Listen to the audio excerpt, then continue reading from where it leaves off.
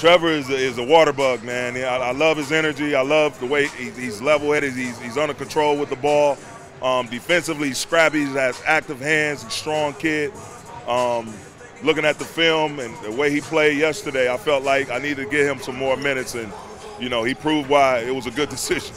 And like Coach Ham, he just he, kept telling me every day just to uh, to stay ready because I don't know when my name will get called, and that's what I've been trying to take that challenge. And, and when he called my name, I just trying to do whatever I can to help the team and just go out there. If I got open shots, just knock them down when I get a chance, and whatever I can to help the team while I'm here.